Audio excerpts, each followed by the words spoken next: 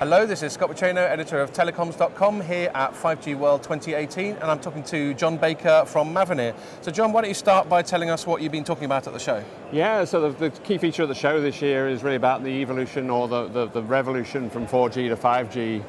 Um, you know, yesterday at a keynote session, you know, really sort of talking about the steps of how to um, move virtualization into the networks. Um, and you know, when we talk about virtualization, we're really talking about the whole network being virtualized, apart from just just apart from the radio. So, um, you know, one of the you know, key areas for Mavenir is the virtualization of the RAN. Um, and um, you know, over the last year, we've been focused at really opening up the interfaces such that uh, operators can have uh, independent radios and independent software suppliers. So changing the whole ecosystem from you know where it is today with walled garden uh, suppliers. So, um, you, you, know, it's a great opportunity for the carriers to really put, uh, you know, virtualized networks together. Um, you know, one of the one of the areas that you know sort of we're starting to see at the show is a sort of a divide in uh, operators that want to implement virtualization versus those that are, you know, want an easy life and carry yeah. on doing things in the same way. And um, you know what we're seeing is that you know there is a really really a true divide starting to happen where you've got these operators that want to pick up the challenge and they understand the the cost economics of uh, you know going in the virtualized world versus those that are saying look you know I, the network I've got today is working well. I don't want to disturb it. You know I want to stay with the existing technology providers. Um, and, and it's those guys that are really going to lose out long term if you know if you don't take up the challenge of how to get cost out of the network um, yep. then you know long term their customers and their business is going to lose out in terms of um, profitability, and, and, that's really you, you, know where Mavenir has sort of really been focused is about you know how to make operators profitable, how to get software elements on common hardware in, in, in mobile networks such that um, you know we can make these operators profitable. Okay, well that, that all makes sense, but let me be the skeptical journalist for a sec. Yeah, you're a vendor.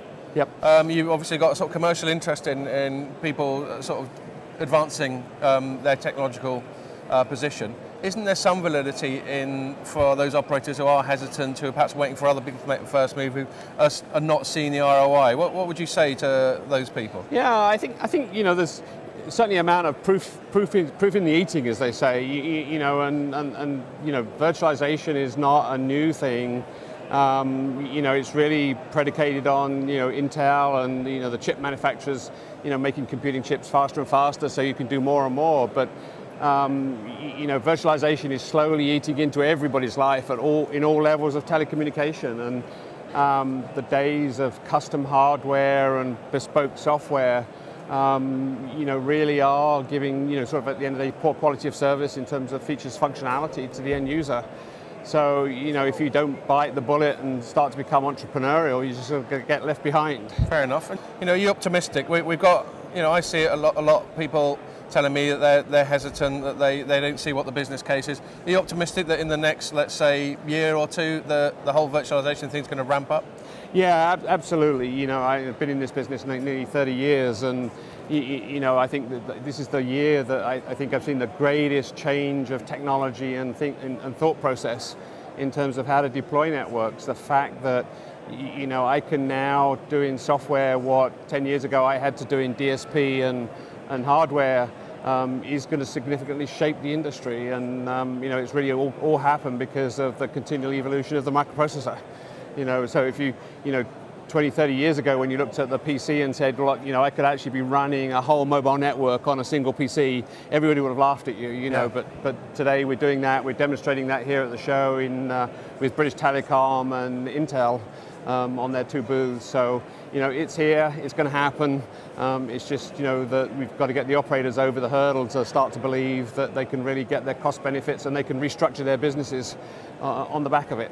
Okay, so uh, just to conclude then, um, what message do you have for any operators who are still hesitant about the move to virtualization? Yeah, you, you, know, at the end of the day, you know, we know that operators have got to make themselves profitable and, you know, technology is obviously a key part of that.